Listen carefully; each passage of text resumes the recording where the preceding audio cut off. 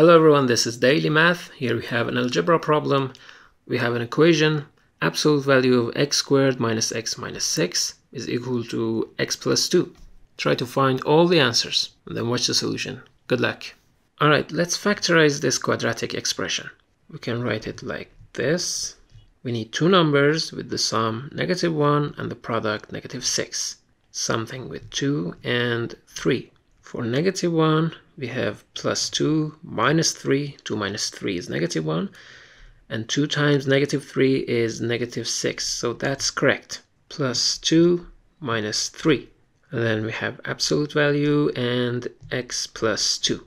So the first thing I notice here is that x plus 2 is always positive because this whole part, absolute value of something, must be positive. That's what the absolute value function does. So again, x plus 2 is positive, right? That means this one is always positive. We can take it out of this absolute value function. We'll have x plus 2 times the absolute value of x minus 3 equals x plus 2. Let's factor x plus 2 on this side. We'll have absolute value of x minus 3 minus 1, that's equal to 0.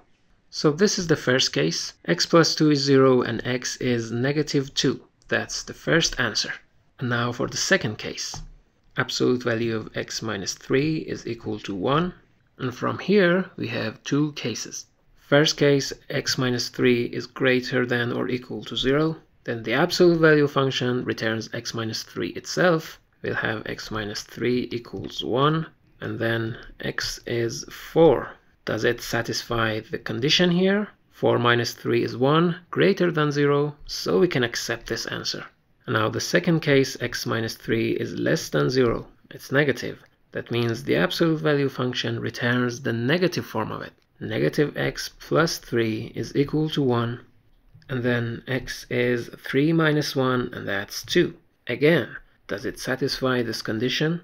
2 minus 3 is negative 1, it's less than 0, so we can accept this one as well. 2, negative 2, and 4.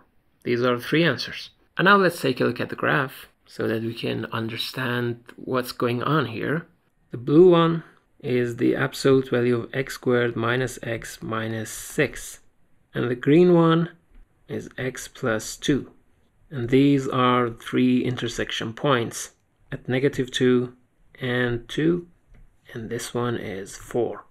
Three answers three roots for this equation. Tell me how you solve this problem. Thanks for watching. See you all my dear friends in the next one. Till then take care.